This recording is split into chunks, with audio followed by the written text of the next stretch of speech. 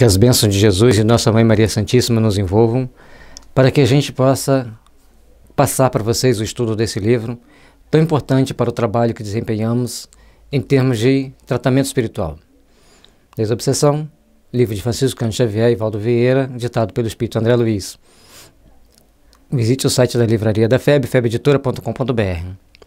Lá você pode encontrar esse livro e muitos outros que irão trazer para você o enriquecimento dos seus conhecimentos e, às vezes, tirando muitas das suas dúvidas com relação ao mundo espiritual. E como é o mundo espiritual? Já procurou, já parou para pensar sobre isso? Lá tem vários livros que possam, nos podem nos esclarecer e nos instruir para uma manhã de bênçãos, de paz e de luz. Reunião Espírita Desdobramento, capítulo 72 e 73. Estudos extras. É forçoso que os ceareiros da desobsessão não circunscrevam em matéria de atividade espíritas aos assuntos do grupo.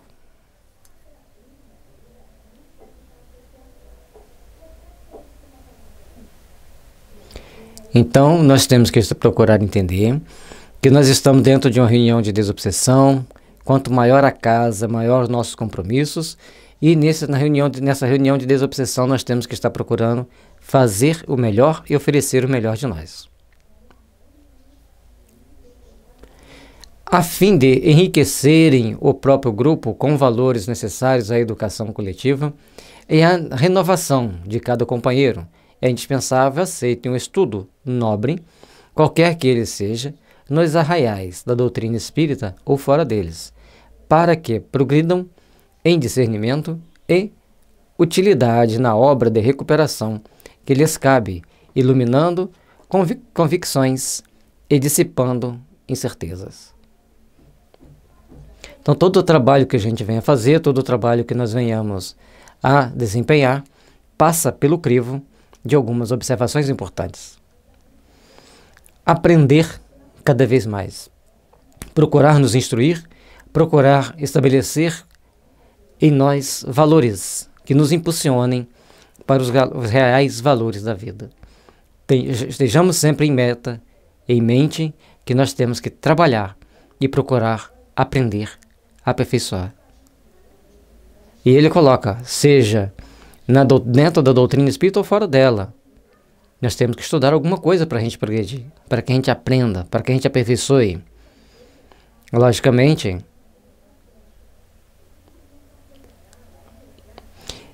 ele lembra sempre a importância do discernimento, a utilidade de sabermos discernir na obra de recuperação, em que cabe a cada um de nós, iluminando convicções e dissipando incertezas. Então, para, para termos mais convicção e dissipar as incertezas, temos que estudar a doutrina espírita. Às vezes, a gente pega algum livro, como Os Chakras, do C.W. de Libiter, Os Chakras dos Campos de Energia Humana, de Shafira Karagula Dora Vangel Berkuns, o livro Mãos de Luz, de Bárbara Brennan, que vai trazer para a gente um complemento daquilo que nós não temos de bem definido dentro da doutrina, que são as definições do perispírito propriamente dito. Então, vai trazendo mais informações para que a gente possa entender melhor os trabalhos que nós vamos fazer. Agora, para termos mais certeza e mais convicção de que a mediunidade é real, de que a mediunidade existe, dos trabalhos mediúnicos, da importância dos trabalhos mediúnicos, requer de cada um de nós um pouco mais de estudo da doutrina espírita. Aprender sempre e saber mais é o lema de todo espírita que se consagra aos elevados princípios que, encabe, que abraça. Sempre está sempre procurando aprender, temos que estar sempre procurando aperfeiçoar os nossos conhecimentos dentro da doutrina espírita, para que a gente possa realmente crescer e aprender a estar melhor fazendo aquilo que nós nos propomos a fazer. Todo momento que nós estamos trabalhando, todo momento que nós nosso dentro da doutrina espírita, deve ser voltado para fazermos esse aperfeiçoamento, fazer com que estejamos nos aprimorando nos, e crescendo para os princípios que a doutrina estabelece para nós. E na faina da desobsessão, é preciso enteusoremos conhecimento e experiência, para que os instrutores espirituais nos encontrem maleáveis e proveitosos na extensão do bem que nos propomos cultivar e desenvolver.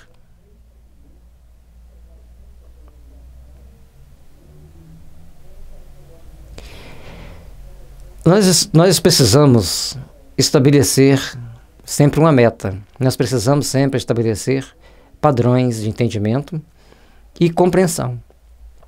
Tudo que nós vamos fazer, nós temos que estar desempenhando os nossos trabalhos, nós temos que procurar construir realmente com convicção, com respeito e conhecimento. E a vivência no dia a dia vai nos dar experiência. E a vivência, a experiência, vamos sintonizar melhor com os instrutores espirituais e eles vão nos ajudar mais. Vai ser mais fácil para eles nos ajudar. E os espíritos sempre falam: a mente carregada de conhecimento é mais fácil de nós trabalharmos os conceitos que precisamos passar para a pessoa. Às vezes a gente não consegue concatenar bem as ideias daquilo que a gente estudou, mas com o toque dos espíritos a gente deslancha e faz aquilo que precisamos fazer.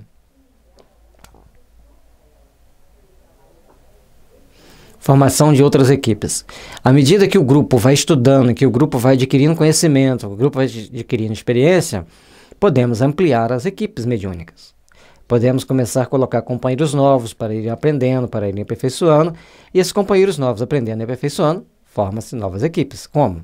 O conjunto de colaboradores da desobsessão, por força do trabalho realizado, costuma dilatar-se em números gradativamente, mas não admitirá integrantes novos sem que esses integrantes demonstrem a preparação natural a ser adquirida nas reuniões públicas de doutrina espírita.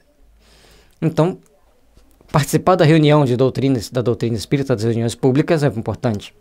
Participar dos estudos são importantes.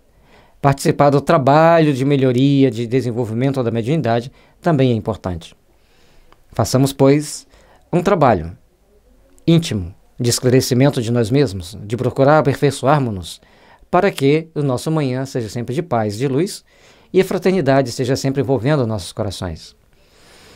Mas, acima de tudo, nós temos que ter conhecimento da doutrina, baseado no Evangelho, baseado no Livro dos Espíritos, baseado no Livro dos Médios, no e Inferno e na Gênese, para que a gente tenha condições de nortearmos por informações que não venha comprometer a segurança das reuniões, a segurança dos médiums e todos estejam trabalhando para melhores realizações que se fazem necessárias ao longo das, das tarefas que nós nos, nos predispomos a fazer, que nós nos predispomos a realizar. Mas para criar novas tarefas, as pessoas têm que estar angariando experiências nas reuniões públicas, no estudo da doutrina, na leitura dos livros espíritas e às vezes até como assistente dentro da reunião de outras reuniões de tratamento espiritual. Não tem ali os visitantes na reunião mediúnica, a reunião de desobsessão, que foi falado atrás, até três. Então podemos começar a preparar certas pessoas que já estão mais treinadas ali dentro para ficarem nesse suporte, nesse amparo. Baseado em O Livro dos Médiuns, item 332, ultrapassada a cota de 14 participantes do conjunto, o diretor de cada da casa auxiliará os companheiros excedentes na formação de nova equipe que, temporariamente, pode agir e servir sob orientação do grupamento em que nasceu. Então, não devemos desmembrar a reunião a equipe mediúnica anterior. Que a primeira ideia a gente fala assim, vamos desmembrar. Metade já preparado com a metade iniciante. Aí ele coloca que chegou o número de 14, aqueles números excedentes vão começar a ser formar uma outra equipe. Vão começar a estar em uma outra equipe. Vamos começar a estar trabalhando dentro de um princípio de amadurecimento, onde eles estarão sendo orientados pelo dirigente da casa ou pelo dirigente da outra reunião, por outros grupamentos, outras pessoas dentro daquele grupo que vão treinando aqueles jovens, treinando aquelas pessoas, jovens iniciantes da doutrina. Pode ser de qualquer idade, a pessoa pode ter 70 anos e começar na doutrina agora, 50 começar agora. Então, aquele que é iniciante, mesmo que os, aqueles mais experientes, vão estar ali passando, orientando, ajudando, para que ele possa aprender a conduzir. E a própria espiritualidade não vai mandar espíritos muito complexos, muito complicados para trabalhar junto daquelas pessoas de início. Eles vão colocar ali espíritos necessários para que cada um desempenhe a sua função com segurança. E treine. Conforme a gente vai treinando, a gente vai recebendo provas e trabalhos mais específicos. Depois que fossem iluminados, as grandes provas e tribulações, nos deixou gravado Paulo. O círculo novo contará, desse modo, com instruções sadias para consolidar-se. A maneira de um aparelho consciente, cujas peças se ajustarão ao lugar próprio, esparzindo frutos de fraternidade e esclarecimento no amparo efetivo aos que sofrem. Porquanto, o rendimento do serviço lhe é, em tudo, um fator básico. Então, nós vamos estar, procurar estar conscientes do trabalho que nós temos que fazer, nós temos que estar procurando nos aperfeiçoar, procurando estar em sintonia com os bons espíritos e, principalmente, esparzir, espalhar frutos de fraternidade, mais conhecimento, mais informação, mais instrução, para que todos possam se beneficiar do bem ali gerado. Somos, nesse momento, uma usina de luz que vamos começar a oferecer aos nossos irmãos as bênçãos de amor, de paz, de fraternidade, de esperança para a construção de um mundo melhor. Então, é importante que a gente comece a se ajustar no local apropriado para o nosso trabalho, dentro da nossa equipe, começamos a criar sintonia, vínculos de amizade, para que a gente se refaça e a gente comece a esclarecer fraternalmente, amparando aqueles que sofrem no mundo espiritual e aliviando muitas dores daqueles que estão na terra. A obra redentora da desobsessão continuará. Dessa forma, providencialmente garantida pelos corações decididos a trabalhar pelos companheiros mentalmente tombados em perturbações e conflitos. Então, muitos dos nossos companheiros caem no mundo espiritual em grandes conflitos existenciais, em grandes dúvidas sobre os caminhos que eles devem seguir e, por causa disso, precisam ser amparados, precisam ser ajudados. E é da nossa responsabilidade amparar e ajudar sempre. E para isso, temos que começar a conquistar novos corações para as tarefas mediúnicas, treinar novos, novos integrantes para as tarefas mediúnicas. É importante que na, casa tenha sempre estudos mostrando às pessoas a importância do, da, de estudar a mediunidade, entender a mediunidade, para que as pessoas vão, passem a praticar a mediunidade com amor, com segurança e com responsabilidade. Depois da morte e pelos ah, em perturbação e compliço depois da morte, e pelos que, na terra mesmo, padecem aflitivos processos de obsessão, oculta ou declarada, para a supressão, dos quais só o amor e a paciência dispõem de fortaleza e compreensão suficientes para sustentar a tarefa libertadora até o fim.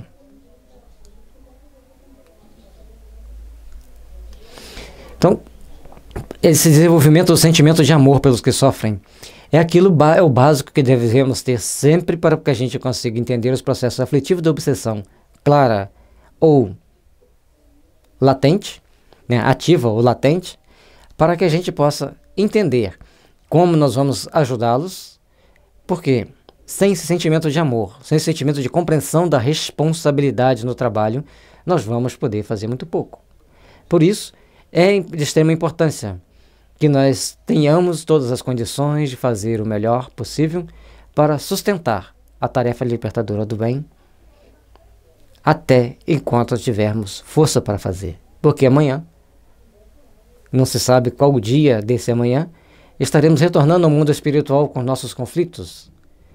E, se tivermos com as mãos calejadas pelo trabalho no bem, ou iluminadas pelo trabalho no bem, seremos acolhidos seremos ajudados e começaremos a despertar as nossas possibilidades de fazermos pelos nossos irmãos, pelos nossos semelhantes. Isso porque a obsessão é flagelo geminado. Com a ignorância, e se apenas a escola consegue dissipar as sombras da ignorância, somente a desobsessão poderá remover as trevas do espírito.